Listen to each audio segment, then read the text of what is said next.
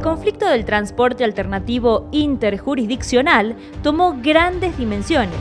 Primero realizaron viajes entre localidades, luego fueron por más y pasaron los límites provinciales. Se conoció también que el fenómeno del transporte de provincia a provincia también se realiza entre Chaco y Corrientes. Hace pocos días, taxistas salteños y jujeños se enfrentaron en las calles de la provincia vecina. Lo que ocurrió esta mañana es lo mismo que ocurre siempre acá. Esta gente que viene de Jujuy, totalmente ilegal porque no tiene ningún marco legal acá ni allá. Viene a a los compañeros, te vienen a amenazar, un compañero mío le quisieron pegar.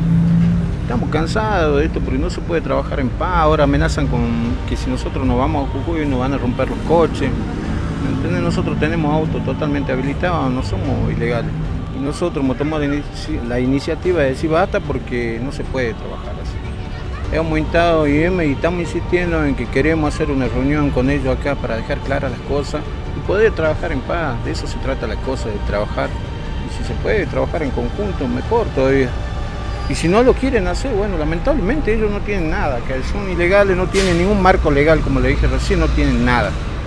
Han sido negados en su propia provincia, acá también no tienen nada.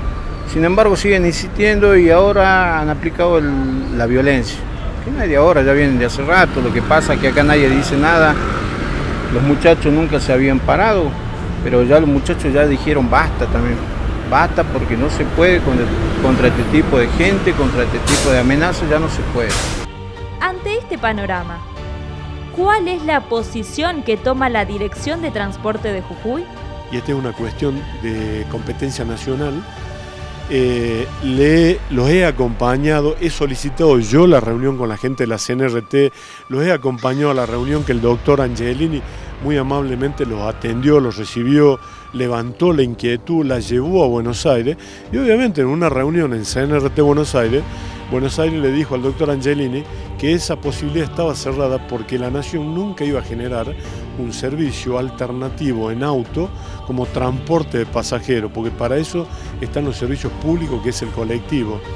Cuando el doctor Angelini volvió de Buenos Aires, me volvió a recibir a mí acompañados por ellos, les informó de los resultados de la reunión, hemos pedido una reunión con los legisladores Salta para ir a conocer por lo menos cuál es la mirada que ellos tienen sobre esta situación y de hecho lo único que nos trajimos de Salta es que Salta no tiene ni quiere ni tiene la intención de abrir la posibilidad de que este transporte pase a blanco.